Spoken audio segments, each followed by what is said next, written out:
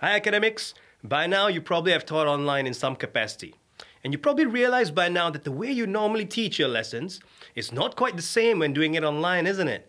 Awkward silences, your mic is not working, recording's not working, your neighbor shouting at the next door. I mean, the list of problems can be endless.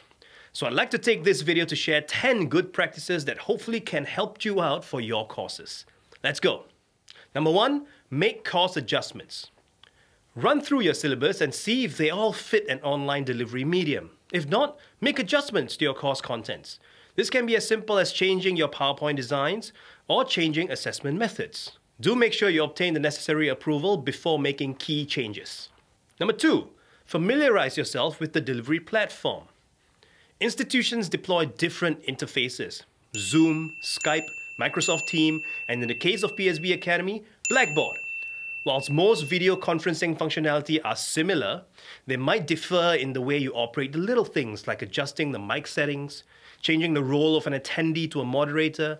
Take time to familiarize yourself so you will not end up looking clueless when going live.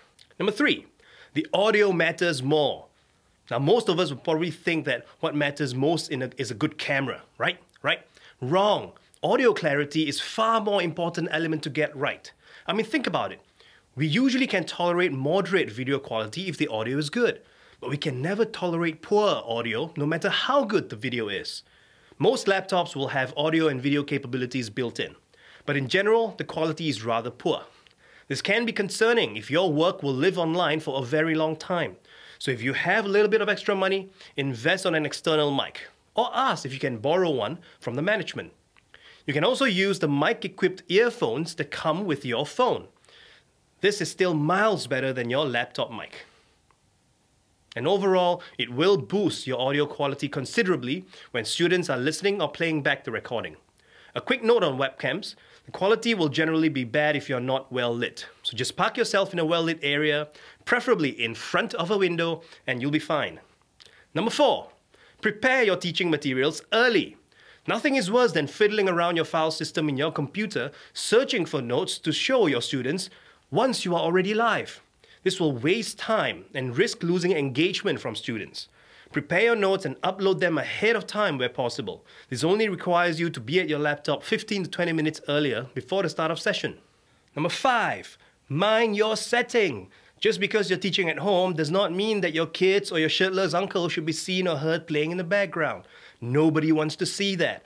Observe the same professionalism as you would teaching in a physical classroom. Take your usual morning shower, get dressed in your usual teaching attire, mind your background when setting up the camera, and observe your posture.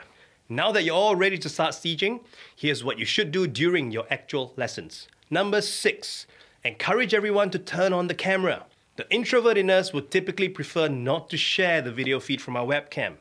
But by encouraging yourself and students to turn on the camera, it will likely increase engagement during the session just by being seen it also avoids casually anyone walking off the session whilst they are still online. Number seven, don't do all the hard work. Running a three hour session in a physical classroom is not the same as a three hour online session. Yours truly will be the first to admit that. But that does not mean that you have to keep talking for 180 minutes. Blackboard and other systems likely have things like polls, surveys, breakout groups, and the whiteboard. They are all good tools to encourage your students to take over the session after your lecture is complete. Third-party softwares like Mentimeter and Kahoot can be great tools when teaching online. So let them do some of the heavy lifting. These tools are made for you, so do use them to further aid students to remember and apply what was taught during the lesson. Number eight, stretch! One of the downside to online delivery is that we are pretty much stuck on our desk the whole time. That's not exactly a very healthy way to work, especially when you're at home all day and the fridge is so close. So it would be good to include a few breaks for you and your students to stretch out every now and then so that everyone is not completely dormant during the lesson. In the end, your belly will thank you for it. Number nine, after lessons, schedule consultations as and when necessary. Students often request that you check on their work progress or to clarify uncertainties regarding the course. Avail yourself to them as much as possible for online support.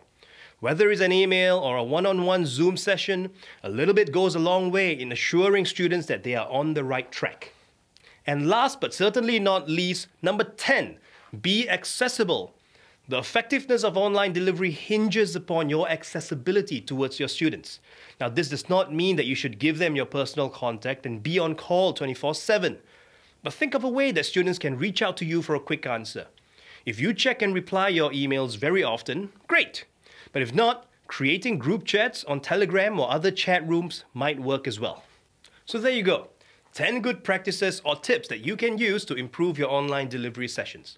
Remember that at the end of the day, none of us are perfect, but by making these conscious steps to improve, you'll be an expert in no time. Thank you, and thanks for watching.